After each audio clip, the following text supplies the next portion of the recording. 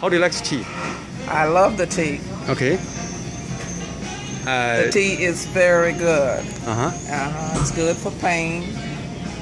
Out of, it doesn't take long for you to get the effects. Uh, how long have you been taking? About a year. A year. How often do you take it? Well, sometimes maybe every, well, once a day, maybe for a week. Uh, And I'm feeling great, and I'll stop, and then I'll go back. You just you, you just take it for, for pain? Do you, do you take it Pain, for I take it, and then when I need a lip pick me up. Okay. Okay. Okay. Good. Good. Pick me up. Okay. Okay. Good. Good. Good.